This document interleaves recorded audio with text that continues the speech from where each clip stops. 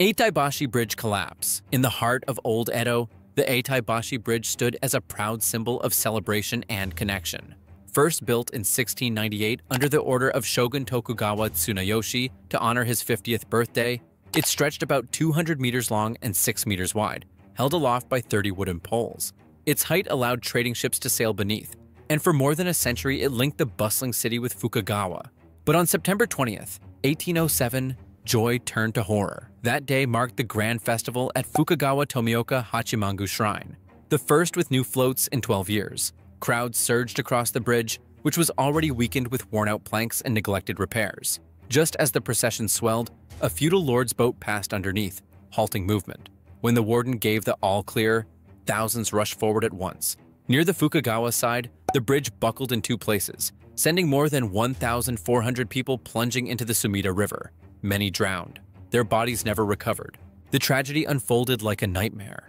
People packed the span as tightly as a modern commuter train, shoving forward unaware the structure had already given way. Those behind pushed blindly, driving even more into the river. Only the swift action of an official, Watanabe Kozaemon, who blocked the entrance with sword drawn, stopped the stampede from claiming additional lives. His intervention became legend, retold in literature decades later.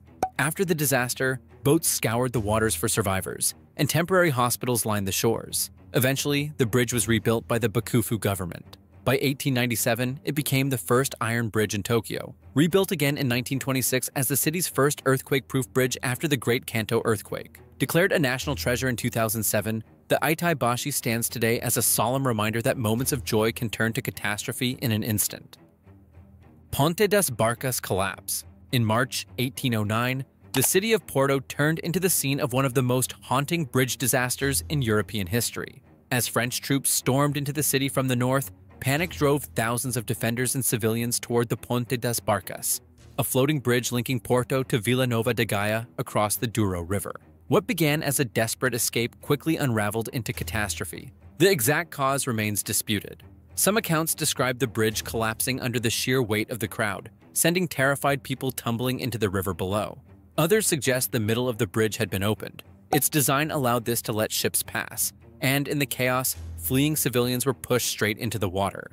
Either way, the results were devastating. The tragedy was compounded by the brutality of the battlefield. Portuguese cavalry, retreating in disarray, slashed at civilians with their swords to force a path, while others were crushed beneath their horses' hooves. Overhead, artillery fire rained down.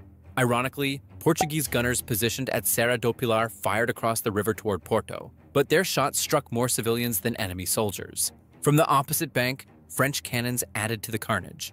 In the midst of this chaos, survival was brutal. Witnesses later claimed that some desperate souls managed to cross the broken bridge only by stepping over the bodies of the dead and drowning. When the dust settled, French troops, who had forced the collapse with their pursuit, ended up laying planks across the shattered bridge to advance, and, in a strange twist, even helped rescue some survivors from the waters of the Douro. The Ponte das Barcas tragedy lives on as a dark chapter in Porto's past, a collision of war, fear, and human desperation that turned a crossing into a mass grave. Dixon Bridge disaster collapse. On May 4, 1873, a Sunday afternoon in Dixon, Illinois, turned into horror when the Truesdell Bridge collapsed over the Rock River. A crowd of 150 to 200 spectators had packed the bridge to witness the baptism of six new church members. As hymns filled the air, a sudden crack echoed, and within seconds, the iron spans gave way. People plunged 18 feet into water 15 to 20 feet deep trapped under a mangled cage of iron latticework. The toll was staggering 46 people killed and at least 56 injured, making it one of the deadliest road bridge disasters in U.S. history. Nearly 80% of the victims were women, many weighed down by the heavy dresses and petticoats of the era.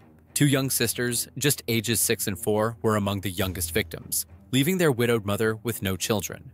Rescue efforts were frantic. Townspeople threw ropes and planks into the river, and one man, William Daly, managed to save 16 lives. But for many, the river became a grave, bodies pinned beneath twisted iron just 6 inches below the surface. The bridge itself had been a point of pride just four years earlier, costing $75,000, equivalent to more than $2 million today. It was hailed as a modern marvel when dedicated in 1869, yet concerns had surfaced before. A similar Truesdell Bridge in Elgin had collapsed twice, once injuring up to 40 people. But warnings were ignored. After the Dixon collapse, blame fell heavily on the flawed design, with newspapers calling it the patent death trap and the Great Bridge Murder. In the aftermath, grief overtook Dixon. Schools closed, businesses stopped, and church bells tolled endlessly as funeral after funeral passed through town. In just one day, 13 processions filled the streets. The tragedy left not only broken families, but also a permanent scar on engineering history, forcing America to rethink how bridges were built and who was trusted to build them. Quebec Bridge collapses. The Quebec Bridge stands today as both an engineering marvel and a memorial to tragedy. Stretching 3,238 feet long and 95 feet wide, it carries trains, cars, and pedestrians across the St. Lawrence River. But its completion in 1919 came only after two catastrophic collapses that claimed 88 lives. The first collapse struck on August 29, 1907. Construction crews had been working for four years when the bridge suddenly gave way, plunging into the river in just 15 seconds. Out of 86 men on site, 75 were killed, making it the deadliest bridge construction disaster in the world. Among them were 33 Mohawk steelworkers from Kahnawake, remembered with steel beam crosses at their burial site. Investigations revealed the cause fatal miscalculations. The design was so flawed that the bridge was literally too heavy to support its own weight. Tragedy struck again on September 11, 1916, when engineers attempted to raise the center span into place. A casting failure caused the massive section to fall, killing 13 more workers. Sabotage rumors spread. World War I was underway. But the truth was simple another engineering oversight. When the bridge was finally completed at a staggering cost of $22 million, over $375 million in today's money, it carried not just trains and vehicles, but the weight of two disasters. Its 1,801 foot cantilever span remains the longest in the world, an achievement born from sacrifice. In recent years, the bridge has faced another enemy corrosion. Nearly 60% of its surface is rusted, and restoration costs are pegged at $200 million. In 2024, the Canadian government repurchased the bridge for a symbolic $1, pledging $1 billion over 25 years for repairs. What began as a story of ambition and failure now continues as one of preservation, ensuring that this bridge, built on loss, endures as both infrastructure and monument. Morandi Bridge collapse. On August 14, 2018, Genoa's skies opened with a fierce rainstorm, and within minutes, one of Italy's most vital arteries turned into a graveyard. At exactly 11:36 a.m., a 690-foot section of the Ponte Morandi crumbled into the Polcevera River, taking with it 43 lives. Eyewitnesses swore the bridge was struck by lightning moments before it gave way. Between 30 and 35 cars and three trucks plummeted, some slamming into warehouses below, others into railway tracks. The only saving grace, many of those warehouses were nearly empty because it was the eve of Ferragosto, Italy's biggest summer holiday. The victims came from all walks of life and across borders 29 Italians, 4 French citizens, three Chileans, two Albanians, and individuals from Colombia, Jamaica, Moldova, Peru, and Romania. Among the survivors was Davide Capello, a former Serie A goalkeeper whose car plunged 100 feet before wedging between debris, allowing him to walk away almost unscathed. His survival was nothing short of miraculous. The collapse instantly exposed Italy's crumbling infrastructure. Reports revealed that corrosion had eaten into the bridge's southern stays, a critical flaw in a structure already carrying more than its fair share of traffic. The company managing the bridge, Atlantia SPA, controlled by the Benetton family, waited two days to issue a public statement, a silence that fueled public outrage. Stocks of Atlantia plummeted 25% within days. By June 2019, the wreckage was demolished, and a new hope began rising. The replacement, designed by Renzo Piano, was inaugurated on August 3, 2020. Still, scars remain. To this day, the Ponte Morandi collapse is remembered not only as a structural failure, but also as a human tragedy, one that turned a symbol of modern engineering into a reminder of how neglect can cost more than money. It costs lives. Sunshine Skyway Bridge Collapse. On the morning of May 9, 1980, Tampa Bay was cloaked in heavy rain when the unthinkable happened. The 606-foot freighter MV Summit Venture, caught in a sudden squall with winds topping 70 miles per hour, veered off course and slammed into a support pier of the Sunshine Skyway Bridge. In a matter of seconds, more than 1,200 feet of roadway, nearly a quarter mile, crumbled into the bay. At 7.38 a.m., cars, a truck, and a Greyhound bus plunged 150 feet into the water. 35 people lost their lives that day, some drivers managed to stop in time, their vehicles left teetering on the edge. A photograph of Richard Hornbuckle's Buick Skylark, halted just two feet from the abyss, remains one of the most haunting images of the tragedy. Among the chaos, there was one miraculous escape. Wesley MacIntire's Ford Courier pickup fell with the roadway, struck the hull of the freighter, and then sank. Somehow, MacIntire clawed his way free and surfaced, where rescuers pulled him aboard the very ship that caused the collapse. Four years later, he won a $175,000 settlement worth about $530,000 today. The pilot guiding the summit venture, John Lerro, was later exonerated. Investigations revealed that a violent microburst had reduced visibility to nothing and even rendered the ship's radar useless. Despite desperate maneuvers, full reverse engines, and an emergency anchor drop, the 20,000-ton vessel couldn't fight the storm's fury. The main support pier held firm, but a weaker secondary pier crumpled under the impact, dooming the span. The Sunshine Skyway collapse remains one of the deadliest bridge disasters in U.S. history, a chilling reminder of how a single moment of violent weather, combined with structural vulnerability, can turn an ordinary morning commute into catastrophe. Baltimore Bridge Collapse The night of March 26, 2024, delivered a stunning blow to the Baltimore metropolitan area when the main spans of the Francis Scott Key Bridge dramatically crumbled into the Patapsco River at 1.28 a.m. Eastern Daylight Time. This catastrophic collapse was triggered by the container ship Dali, a 980-foot-long vessel, which lost power and control, veering out of the shipping channel and colliding with one of the bridge's main piers at an estimated speed of 8 knots, or about 9.2 miles per hour. The moment of impact was devastating because the Key Bridge, the second longest continuous truss bridge in the US, was fracture critical, meaning it lacked redundancy, so the failure of a single main support caused the entire structure to give way within seconds. Tragically, six members of a maintenance crew working on the bridge, whose vehicles were either on break or attempting to stop traffic, were killed. Two other workers were rescued from the icy 47 degree Fahrenheit river water. The incident created what Governor Wes Moore termed a global crisis that immediately blocked off most shipping to the Port of Baltimore, a critical hub that handles over 52 million tons of cargo annually, including more than 847,000 vehicles. The closure of the waterway carried a staggering economic price tag, initially estimated at a loss of $15 million per day. The sheer force of the impact was calculated by experts to be between 27 and 52 million pounds force, dwarfing the thrust of a Saturn V at launch. The ship, which was loaded nearly to its 10,000 container capacity, suffered 13 damaged containers with two falling into the water.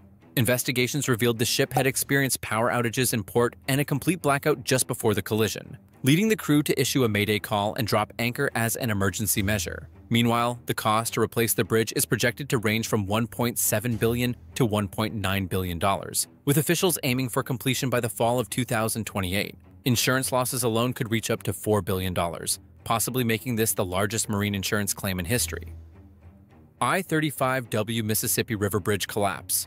On August 1, 2007, at 6.05 p.m., rush hour traffic crawled across the I-35W bridge in Minneapolis, when, without warning, the central span gave way. In seconds, 1,111 vehicles and 18 construction workers plunged as far as 115 feet into the Mississippi River and its banks. The disaster left 13 people dead and 145 injured, with cars stacked in twisted steel and concrete. Some scenes bordered on the miraculous. A school bus packed with 63 children from a summer camp ended up teetering against a broken guardrail, resting just feet from disaster.